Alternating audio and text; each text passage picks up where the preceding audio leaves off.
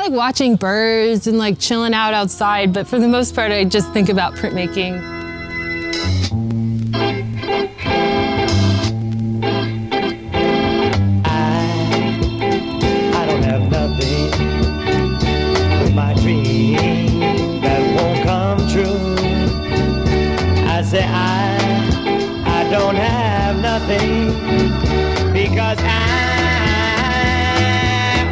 Say, I say, I really love you. My name is Leslie Diuguid. I'm from Kansas City, Missouri, living in Brooklyn now, and I am the owner, founder, production workhorse behind Du-Good Press. carry on strong and the strength that I possess and your tenderness because I oh I say I say I really love I got into printmaking through just tinkering with a lot of different types of art and nothing quite sticking. Really was into watercolor, drawing, just technically using my hands to reproduce stuff that was there. Um, you know, drawing as a kid was something that I could zone out on and, and kind of calm down with in, in a way that, that made learning with my hands possible. Screen printing is cool because it's versatile, it's quick, you can do it anywhere, right? In a park, you know, outside. I choose to, you know, devote my life to it at this point because I've invested a lot of time in just growing my knowledge in that one department. So screen printing is where I'm at.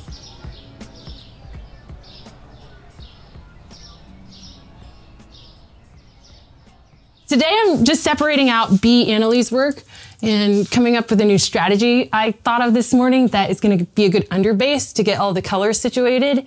And then I can just kind of tint things in a bit of mm, more juicy direction that they're already headed in. I can't quite predict what that would look like, but the original is quite juicy, satisfying, and has many a color to chew on. Um, I learned a few new techniques in being able to have the original in order to work off of. These films, Alexander Henrici calls them plates. That is the old school way to think of it because you can hand paint plates of plastic or whatever and expose that to screens. It's a stencil. We need to prepare an area to rinse this, which is outside. Um, this is my hose. My grandpa started Du-Good Chemical Laboratory and Manufacturers in the 1940s in St. Louis, Missouri. And in doing so, he elevated his own innovation with creating a business where he could take care of who he wanted to serve. Um, rather than passing as white at, at, the time and working for companies that didn't hire black people. Uh, my dad, in between us, uh, actually wrote a book about him called Our Fathers Making Black Men. And in reading that, I became so much more connected with what my grandfather started and did and uh, understood his values with how he decided to do something different and operate in a neighborhood and a community that he could help grow. Um, you know, with the labor and support of children and adults and for people that he was trying to serve in the community.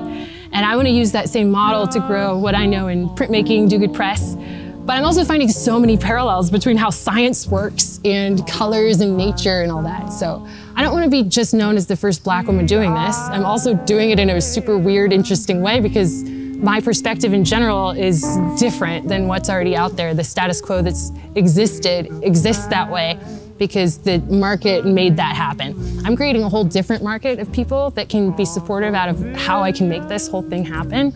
But me being a black woman specifically goes to my own ingenuity and creative thinking. That's the goal of what Du-Good Press is. I think that we can change the way we consume media culture and think more long term about the valuing the things that are around us. And I think that art is a good form of what the fruits of our labor can look like. But as we grow more brown as a country, I would like to help represent what creativity looks like in, from my point of view.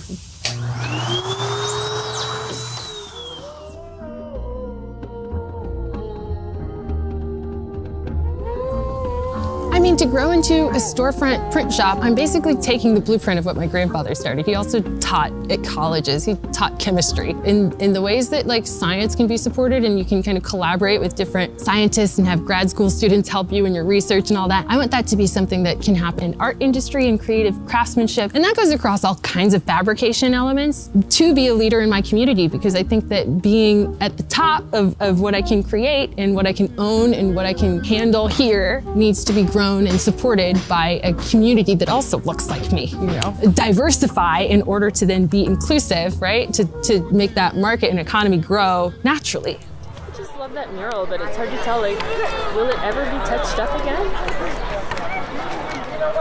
Almost doesn't need it.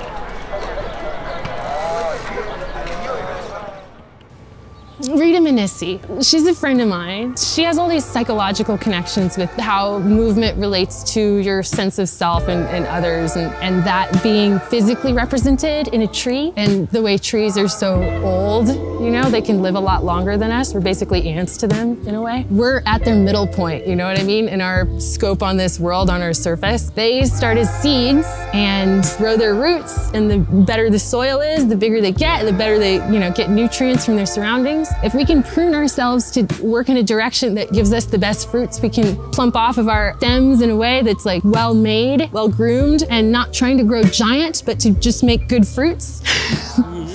I exist better in a little bit of a shade area, you know? I don't want to be fully exposed to the world. And I think that with the Googles and connectedness that we have online and social media, value evaluating everything in our services and industries all the time, like you don't really get to focus on your product as much. You're too concerned with getting it out there and then getting it to people, but you really need to focus on that production being made healthily for an economy of people to be supported and for that person putting in their labor to make it great.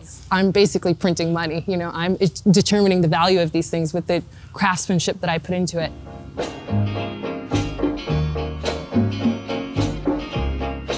I want to grow what I've started to be more public so that what my grandfather did can have a presence in this 2021 economy that needs to be supported by individuals who have the capacity to mentor and bring to light some of the STEAM jobs where collaborations with engineering, arts, sciences, math can look a different way to support more people. Because right now, working for people and having a, a job looks different for different people and, and, you can have your own caretaker roles and, and different ways of your life that are separate from that. But to incorporate all of them together and have those relationships built on what prints can be made out of and friendships too with that uh, becomes just a passionate lifestyle that I'm going to grow. And that's the direction that I feel most comfortable with.